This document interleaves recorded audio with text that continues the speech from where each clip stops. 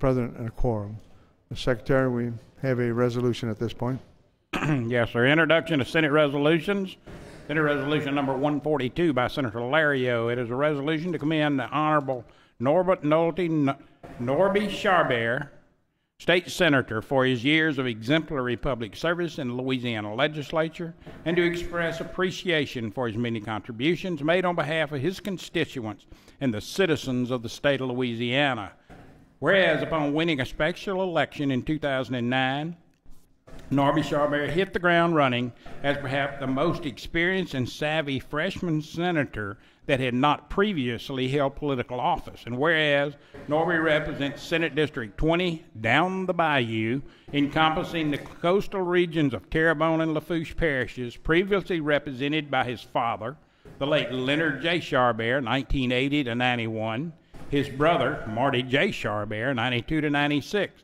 And whereas together they were honored in the Louisiana Political Hall of Fame in 2013 in the inaugural Louisiana Political Family of Office Holder Award, and whereas during his tenure in the Louisiana Senate, Nor- Norby has served as chair and vice chair of the Committee on Natural Resources, chair of the Select Committee on Vocational Technical Education, vice chair of the Committee on Finance, and as a member of the Committee on Commerce, Consumer Protection, and International Affairs, the Committee on Judiciary B, Committee on Retirement, Committee on Health and Welfare, and the Joint Legislative Committee on the Budget, among others. And whereas honoring his rural upbringing down the bayou, Senator Chabert joined the Louisiana Rural Caucus and the Acadiana delegation. And whereas his first year in the Senate was punctuated by the Deepwater Horizon oil spill, which has a devastating impact on all aspects of his coastal district, an area that balances jobs in the oil and gas service industry with one of the nation's most productive seafood estuaries and a hub of commercial and recreational fishing activities. And he worked tireless to bring recovery to this area. And whereas Port Fourchon, located in the southernmost point of Lafourche Parish, is the largest energy port in the world, serving more than 90% of the deepwater activity in the Gulf of Mexico. And whereas Norby has championed the expansion of Port Fourchon, Port Terrebonne, and all other Louisiana ports, deepening and dredging, project, dredging projects throughout the state through capital out- outlay projects, creating the Waterway Dredging and Deepwater Priority Program, and establishing the Office of Multimodal Commerce. And whereas in creating the Office of Multimodal Commerce, Senator Chabert's strategic vision of building the state's infrastructure in coordination with the needs of business and industry, while acting as a conduit for stakeholders to influence public priorities was realized.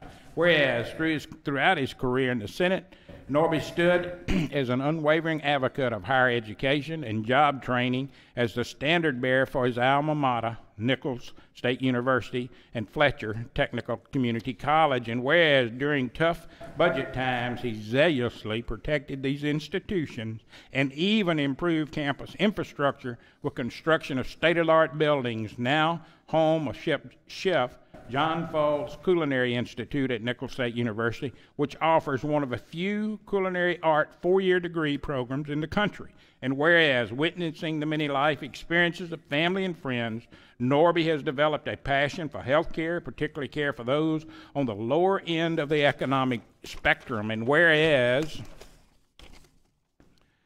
when a change in federal policy regarding reimbursements dedicated that the old charity hospital system cannot survive in its current form, Norby played a key role in the creation of a public-private healthcare partnership widely considered as a model for other eminent preserved and healthcare safety net and kept the Leonard J. Chabert Medical Center, renamed in honor of its founder and Norby's father in 1992 in Houma, open. And whereas embracing his French heritage, he has strong supported CODOFIL through the years, and whereas always looking for opportunity to improve the efficiency of government, Senator Chabert cut through yards of red tape by allowing the Department of Culture, Recreation, and Tourism to utilize private vendors for service and kept many state parks opening to the public.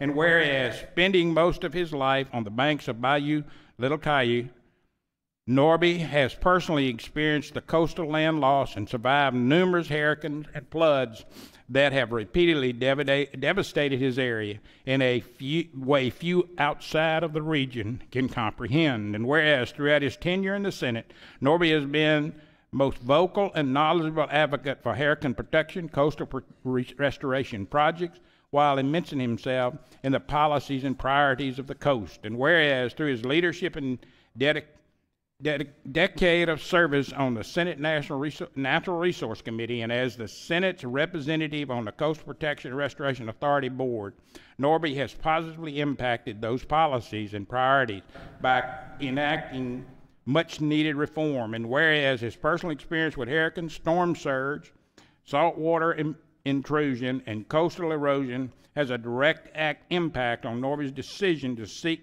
the vacant Senate District 20 seat in two, 20, 2009. And whereas he graduated from South Terrebonne High School and attended the University of Louisiana at Lafayette.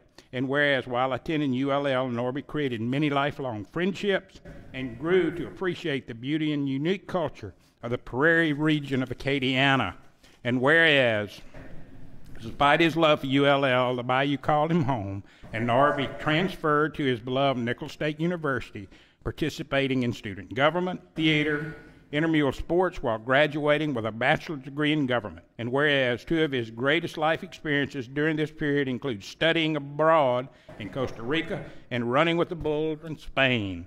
And whereas upon soon after graduation, Norby moved to New Orleans and began his career as a political consultant, working for candidates of both parties in statewide and congressional campaigns.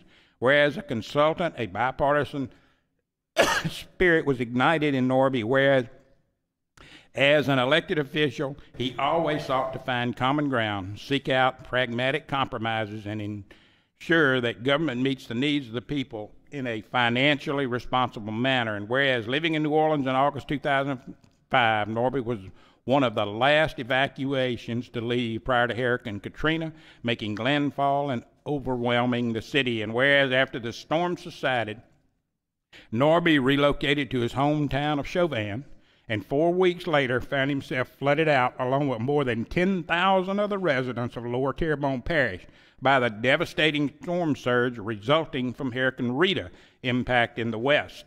In, in 2008, his home and community once again, were once again ravaged by back-to-back catastrophic four, Hurricane Gustav and Ike. And whereas previously content public life, Norby was compelled by these disasters to make a difference through public service, and where Norby is the son of the late Leonard J. Chabert and Viona Chabert, and brother of Donna, Marty, Lori, Lenny, and their spouses, Odile, Lord, Kirby, and Patty, respectively, and uncles to numerous nieces and nephews, as well as a growing number of great nieces and nephews. And whereas Norby loves to garden and frequently utilizes his produce when he cooks at family gatherings and community events, and whereas participation in local civic clubs and charitable organizations such as Colonel Athletic Association, Krewe of Houmas, Knights of Columbus, and Reggae Festival and Chabert Foundation are activities he particularly enjoys, and whereas Norby's tenure in the Senate comes to an end, he is confronted by the many relationships he has made with colleagues, staff, and other members of the Capitol community, as well as honor of serving not only his people down the bayou, but all the citizens of the great state of Louisiana. Therefore, be it resolved that the Senate of the Legislature of Louisiana does hereby commend the Honorable Norby Chabert for his faithful public service to this body, his district, and the state of Louisiana, does hereby extend to him the best wishes of his colleagues to continue success in his future endeavors. Senator Alon moves all members of the Senate, with the exception of Senator Chabert, co-author the resolution. Without objection, so ordered. Senator Alon moves adoption. Without objection, so ordered. Honorable Norby Chabert.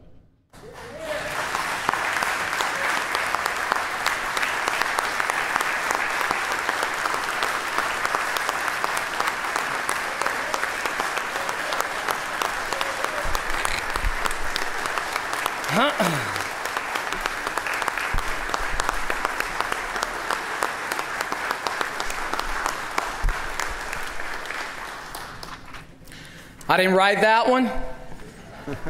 I want to uh, thank whoever did write that one for limiting the number of French words that Glenn Koepp had to pronounce. but thank you, thank you, Glenn. Um, you know, given my family's legislative history, Um, these farewell speeches probably mean a little, little more to me than most people. I've had the privilege of hearing many of them in my lifetime, and you know that uh, when you're a public servant who's saying goodbye to their public service, it's, uh, it's a different kind of speech than the ones that uh, everybody on this floor has given time and uh, time again. The first one I can remember hearing in this chamber was Senator Tom Casey. Um, he was of New Orleans, and I, and I thought the world of him. Uh, for those that you, of you that knew him, he was, he was a gentleman, a scholar, and uh, he embodied being a senator. I, uh, I was 12 years old in the Louisiana State Senate. It was my universe politically. I was too young to understand why anyone would leave the Senate without being defeated in an election. And importantly, more, more importantly, how could anybody replace somebody like Tom Casey? But of course, life goes on. Tom Casey became the executive counsel for the governor, Governor Roemer.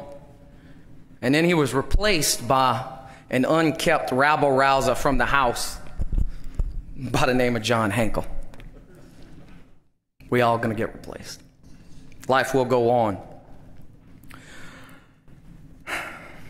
I've been struggling to find the words uh, to properly express, express to you, the members of this body,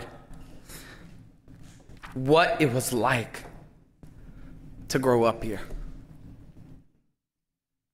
in that chair, running around these halls, watching our state work and fail and recover from so many things. But we never kept, we never stopped trying. We didn't always succeed. But to be a kid here, a lot of y'all brought your sons and your daughters and your grandkids and you can see the wonder in their eyes when they look at these marble columns. When they see those gardens and they get to run around and play around with them like I did. And they get up on that big porch of the Pentagon. Man, ain't nothing like it. Or when they get the opportunity to sit at your desk all day. And uh, I know that when you bring them, I've tried to go and walk over and tell them a few words. I always say that uh, I came here when I was your age, and for those of you who have not been in my office, I only keep a few pictures in it, and none of me, save one. And it's of a little six year old boy, seven year old boy with a page boy haircut sitting at that desk. And uh, if anything, it just reminds those that don't know that I've been here for a little while. Ain't that right, Senator Thompson? And my siblings are going to tell you that even though Dad had served uh, in both the, you know, two terms in the House, I'm probably the one that was lucky enough to get up here the most with him. Uh, every summer, I'd come up for about a week, spend some time running back and forth uh, between here and the Pentagon, drinking as much Dr. Pepper from that vending machine we got in the back as I possibly could, and jumping up and down on that chair until Shorty Baudouin liked to pull me out by my ear one time. And I have a collection of the little badges we used to have to wear. And I, I, was so excited when I got to take those pictures. And it's like a yearbook photo album of me growing up. The hairstyles changed a little bit and got a little mustache. Uh, and it's funny because everybody remembers that six year old boy I was talking about and uh, not too many remember the uh, 17 and 18 and 19 and 20 year old boy I was when I was working for Marty when, when he was in the Senate. That's really when I learned a lot. But we left, and I, and I kind of get a little torn every now and then when everybody tells that story of well, his father served and his brother served. And I always, I don't like the dynastic sound of that because there was a break in that service. And I did spend a long time away from here. And uh, I think that's a big deal. That, you know, when you leave some place that is such a part of your life and you come back to it for the first time, it overwhelms you more than I've, I've been overwhelmed today. And they always ask me, what's different? And my answer is the same today as it was when I first got here. Now they record everything on this mic, in committee, in subcommittee, in any hearing. The people on your phones are recording you, everything. In those days, unless LPB interviewed you on the state we're in, or you were from New Orleans and some big debate was going on, a Baton Rouge, or I think y'all had TV back then. Did y'all, Senator Zarva, in Shreveport? Unless you were from the major markets, you weren't on TV, they didn't record nothing. And now they even stream you live on the internet and to, like I say in committee to the millions listening around the world on the internet, how y'all are. Y'all good? Thanks for tuning in.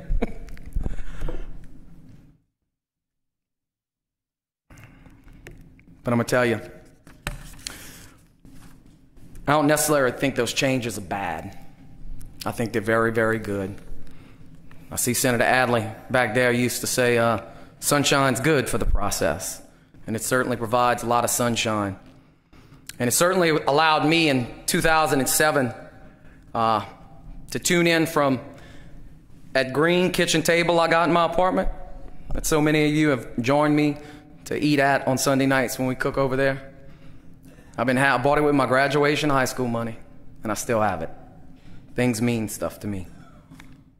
And I sat at that table, still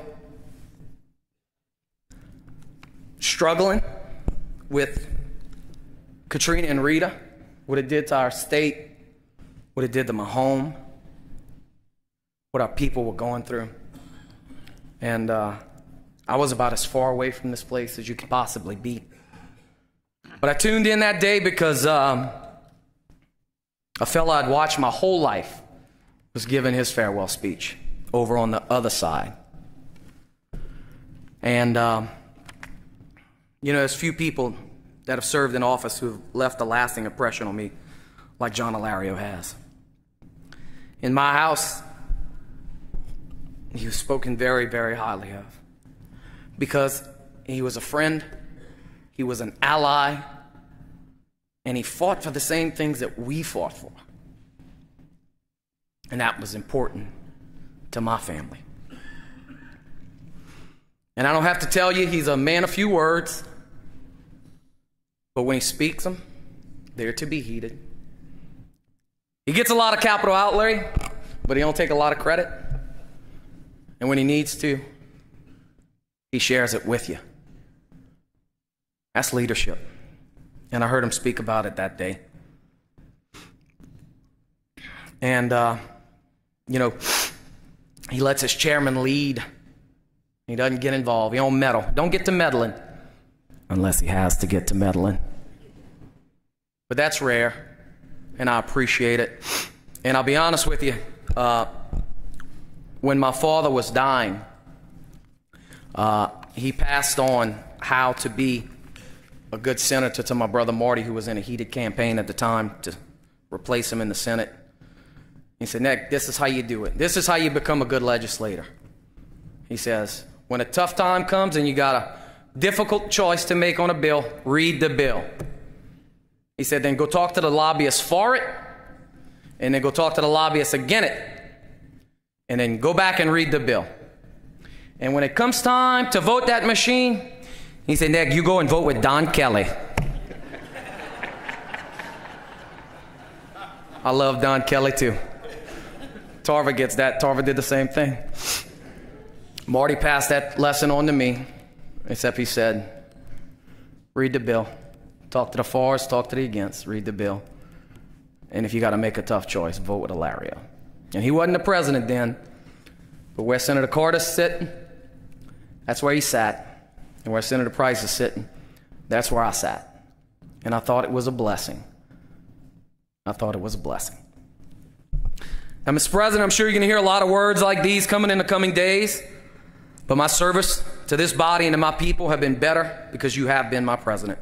I thank you for your counsel, for your leadership, and of course, your late night ice cream, uh, over at the apartment. But most of all, I want to thank you for being my friend. Help me. Thank you, Mr. President.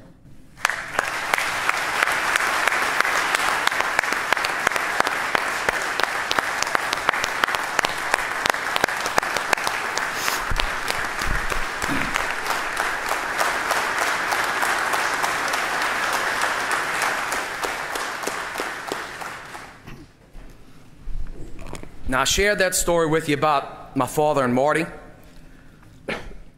It's a true one. It was given literally on his deathbed in our family home in Little I was 13 when my dad first set me down and told me he had cancer. and that what the coming fight would be like. It was one of only two times that I'd ever seen him cry. But his cancer was first discovered at South Louisiana Medical Center, the state hospital on the east side of Houma, a hospital that he fought to have built while serving in the House, the same hospital that bears his name today. His, cancer was, his cancer was discovered on a machine that he got funded through HB1 while he was serving two terms on finance. He fought his sickness hard for three years he spent most of his last session here with a radiation pack strapped to his side. They'd wheel him in on days he couldn't walk for the pledge and the prayer. And I think it's okay to talk about it now because I think the statute of limitations ran out, but uh, Marty was more or less the senator at that time. Dad was on the phone and he was watching closed circuit. Marty couldn't come to the mic but he was very much the senator. And coming to this mic is important to us. We know what it means. And though my dad was present for every major vote they needed him on, including the historic vote that gave Louisiana the lottery, he would never come down to this mic, to this well, and deliver a speech again. 1991 was an election year. My father was a fighter. He never thought he would not be able to run in the fall. But prior to qualifying, when it became clear he wasn't going to beat the cancer, he made a difficult decision and announced he wouldn't run for reelection. His political consultant, Marty's political consultant, my political consultant, the legendary Roy Fletcher, he put together a spot that would run only locally on HTV and call a cable down the bayou to announce to his people of Terrebonne Lafourche that he was retiring from a long career of public service to fight for his life. For those of you who did not know him, Leonard Chabert grew up in the 10th ward of South Lafourche in the Bayou-side town of Golden and Cutoff. He quit school, he joined the army, he survived the Korean War, managed to get a GED while he was enlisted. He came home, he married my mother Viona, he became a father, and graduated from Nicholls State University.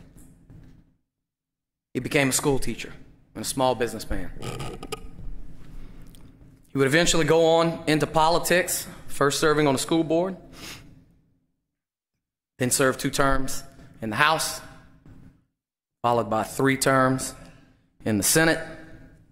And his last one here, he was both the chairman of Revenue and Fiscal Affairs and the president pro tem.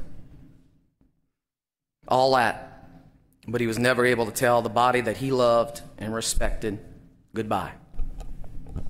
That changes today. A Chabert released the following statement today. Quote, the last 20 years serving the people of Terrebonne and the Lafourche along the bayous and Grand Isle has been both an honor and a challenge. Only in America could one of your own from a below average income background have the opportunity to make a contribution to his constituency that I, Leonard J. Chabert, have had, as both your representative and your senator. Throughout this entire 20 year period, I have dedicated my life as your representative, and most recently as your senator, serving as chairman of the Senate Revenue and Fiscal Affairs Committee and president pro tem, securing programs for the people in our parishes to provide infrastructure and job opportunities for every one of you. I am proud of the $600 million of projects I have sponsored in these turbulent times to get a fair share of Louisiana's resources for our people. South Louisiana Medical Center, $250 million and over 700 jobs. Coastal Zone Restoration and Hurricane Protection, $100 million. Roads and Bridges, $150 million. Senior Citizens Care, $5 million. Preservation of Fishermen's Rights. Expansion of Nicholls State University, over $30 million. While reflecting on these accomplishments with a very deep sense of satisfaction that I have done my very best for our people, makes it possible to make a tough decision, perhaps the toughest of my life, to announce that I have decided not to seek re election for the Louisiana State Senate in 1991. As most of you know, I have battled cancer for the last three years. I had hoped that after seeking treatment from three of the finest medical facilities in the country, that by now I could be fully recovered and be able to give my total energy to continuing to serve as your senator. That is not the case. I must preserve my strength and energy to survive this dreaded disease. I will not attempt to serve unless I can be my 100% best.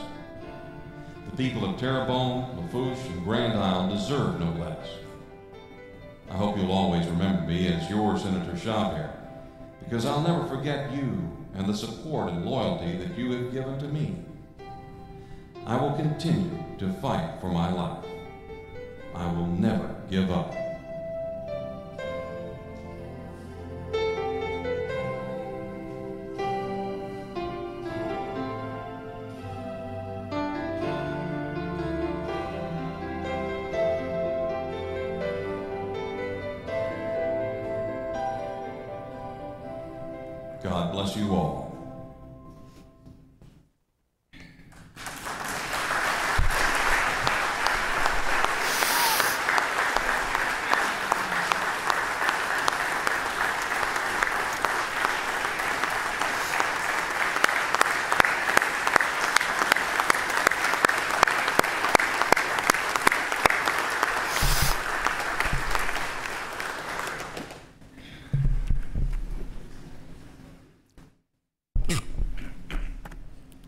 I've been planning to do that since the night I got elected. And I sat in my garden and I knew that uh, it would be a long, hard road to get to this day and to this point. And it was. But I'm glad I walked it. And I'm glad I walked it with so many people in this room. And I thank you for doing that. Because not everybody who's a member gets to say goodbye and gets to say thank you. Some move on to other things, some are defeated, some obviously pass away. Those of us who are blessed and lucky to get this opportunity know how hard it is to survive in politics at this level, particularly in these times. But we also know that none of us could have gotten here just on our own. I'm going to take this time right now and I'm going to thank a lot of people that have gotten me here. Obviously, I want to start with my very small family, as you can see. Y'all, they have been through so much. My mother Viona has been through so many campaigns. And contrary to popular belief, we haven't won them all. My father lost his first bid for the legislature, as did my brother. My brother in law O'Neill lost a House race. Best thing that ever happened to him, by the way.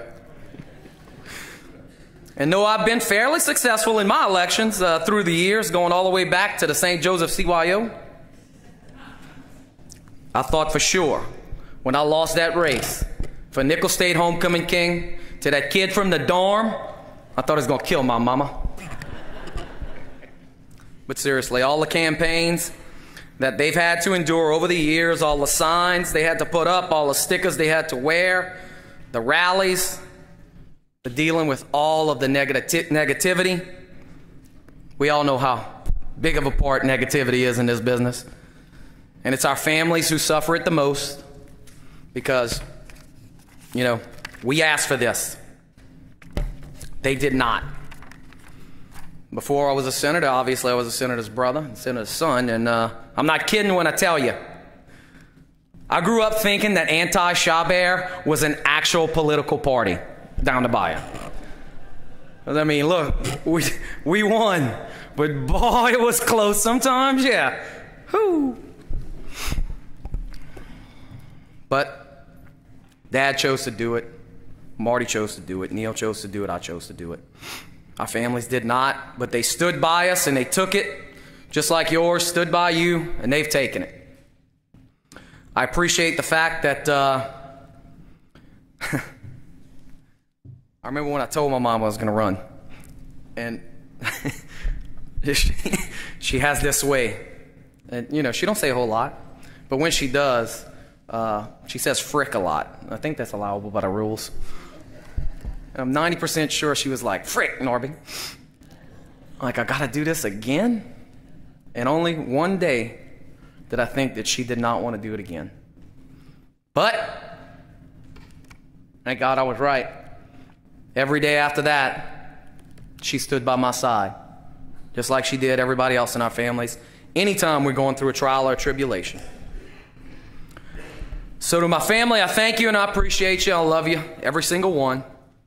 Um, I mentioned a few of you by name a little later. I hope the rest of you don't get mad if I don't, because love is love. And for the rest of y'all, I don't think you got to worry.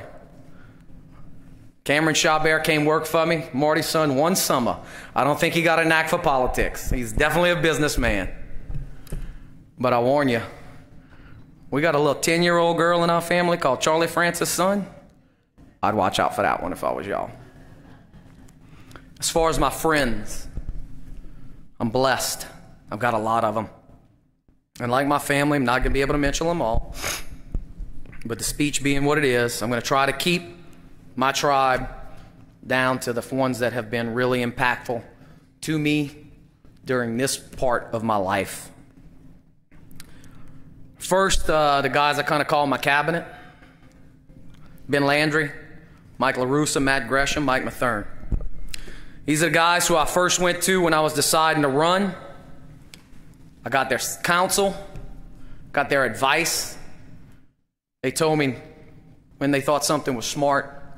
They told me when something was flat out stupid, don't do that. And that's all you can ask for from people that you seek counsel from. I'll never forget when Ben Landry and I sat in my kitchen frying boudin. And he basically wrote up my entire campaign on a yellow legal pad in one afternoon. He's the one that uh, convinced me to emphasize my first name, not my last name. That's where the whole I'm with Norby thing came from. And the old guard Chabert supporters, some of them that are here, thought that was a huge mistake. They thought I should go with the family's traditional colors and fonts. You saw a few of them up there. I can't emphasize to you how big of a choice and a gamble that was. But either I was going to ride the legacy or be my own man. And it was those men I just mentioned, along with a few men- women I'll mention later, that gave me the confidence to do that. And they were right. I went with my own, emphasizing Norby, changed my colors to red, and the rest, as they say, is history. To that old guard I mentioned earlier, Big Perry, Jim Ernie, SP, Clifford Smith, Dickie Bark, and so many other men, I thank you.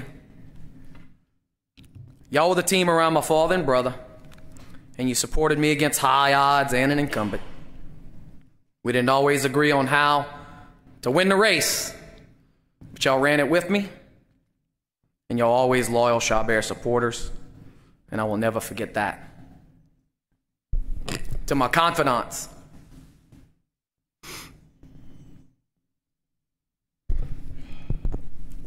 Gina, Kana, Julie Bernard, Elise Io, Christy Abear, Brandon Rutley, Paul Claymore, The Dusty, Seneca Toussaint, and of course, Clint Guidry, Mr. Casey. These are the people I spent late nights with, weekends, questioning myself, facing my doubt, my insecurity. The struggles of service were heavy, and they kept me strong. And sometimes they were just hanging out with me, having a drink, burning some firewood. But when you don't have a wife or child, your friends are all you got, and they meant the world to me. And I'll be honest with you. If me and Mr. Casey didn't have those two martini lunches every now and then, I might need therapy. And then there are those blessed and lucky people who had to actually professionally work for me when I was serving. Sweet baby Jesus, those poor people. They didn't know a whole lot about this process, and they were down there, and I was up here. Matt Bolot, Chrissy Guidry, Rachel Hogenstad, Rory Esche, Ryan Dutu, Mikey Valencia, Aaron Mathern, Kayla Cox, and Miss Lindsay Sinak. There have been many others, but these folks are my core. They had to deal with me when I would drive in angry on a Thursday from here, and we'd fight all weekend about business. And then we'd text all the next week and repeat the cycle. And when you're in the hospitality industry, you expected to hear a lot of nonsense, but you're supposed to keep religion and politics out the bar.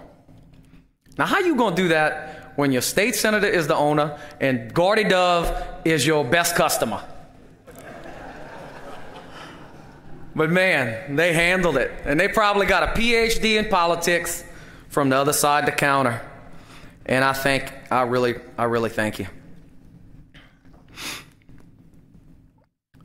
My session aides have always meant a lot to me. And it goes back to working here and growing up here.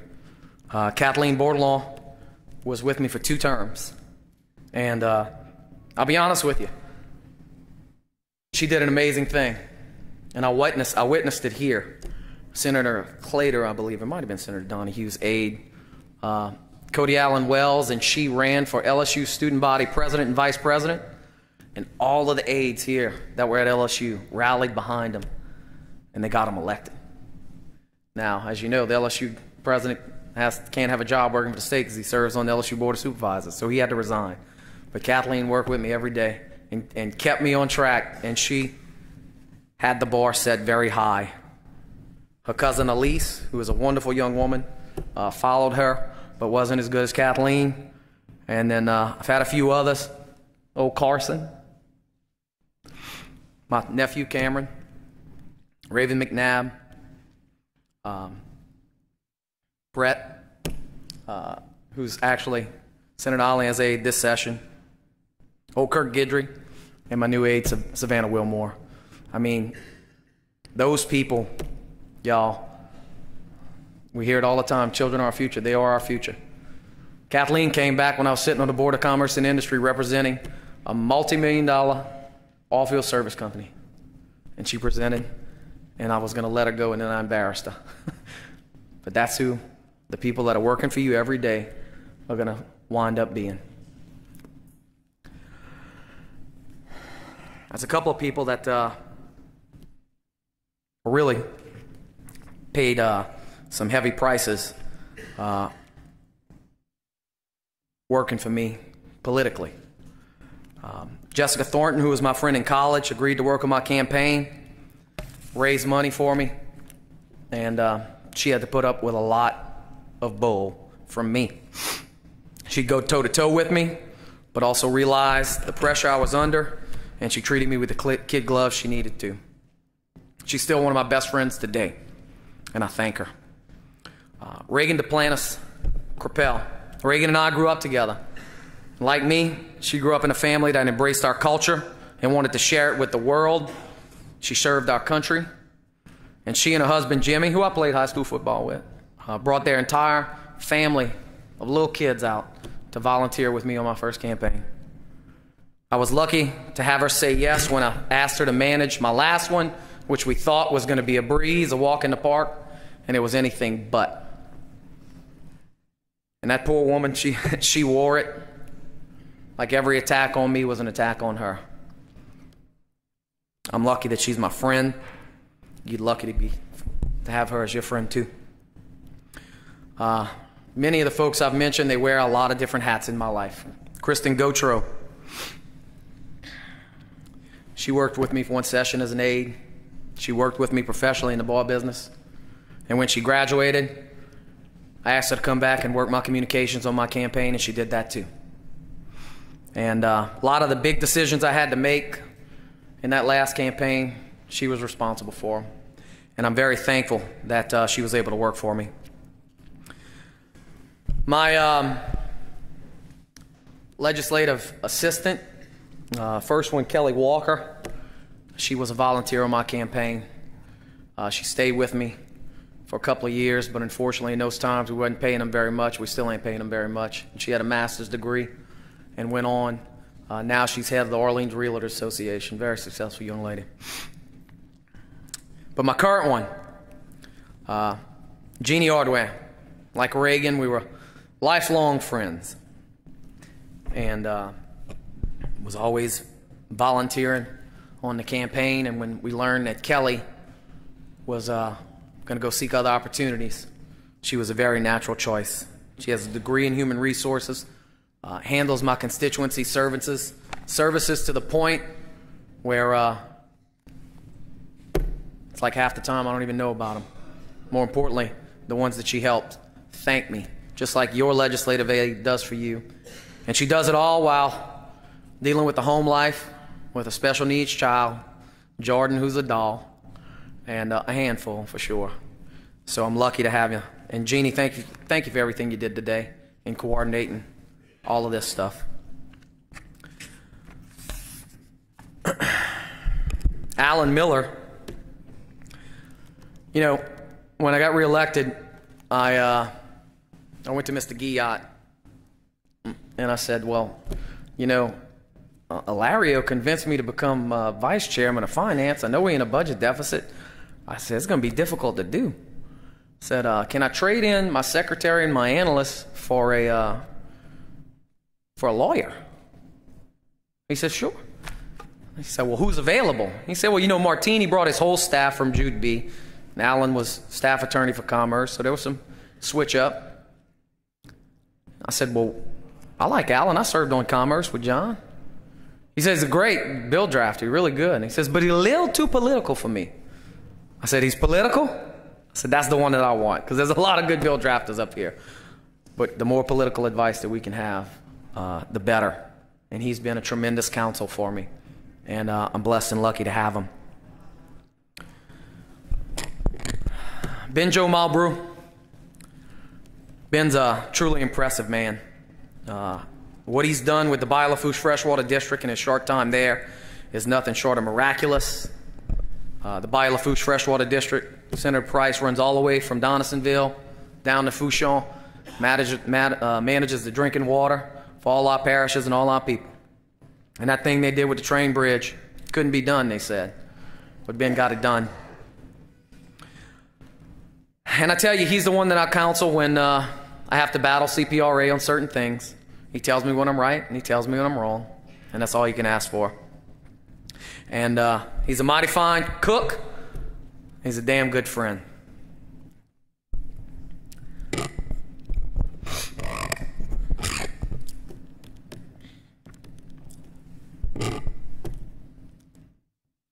If I ever get married, I want Kirby Blanchard standing by my side.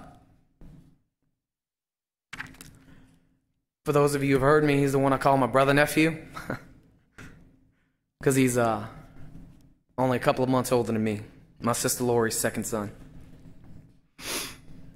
He lived in the house behind mine, and uh, he and his lovely wife and their kids live in our family home now. I'm godfather to his children, and I couldn't be happier about that. When I, uh, I talked a lot about the colors and the fonts and the signs, on the night before my last reelection, I wanted to make Big Perry Just Claire cry. So I came up with an idea to get my new signs with the old Chabert black and gold colors that everybody loves so much.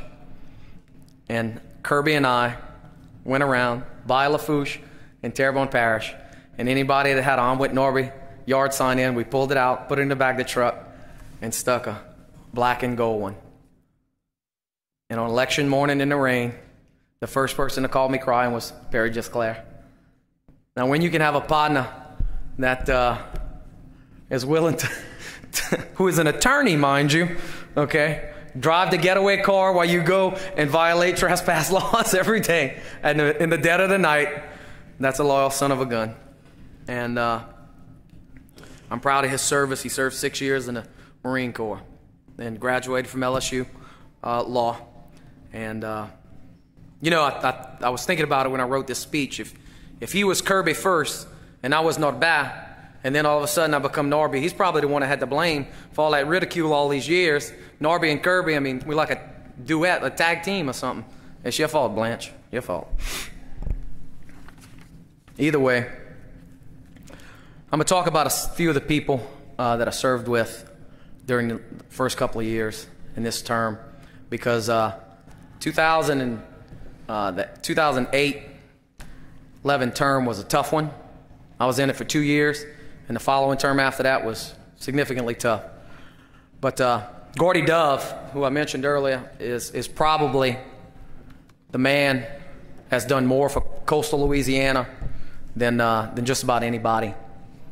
Uh, the man who's sitting oddly enough next to him, Reggie Dupre, is right there with him. He wrote all the coastal law that uh, in some cases I had to go back and fix uh, with his counsel, of course.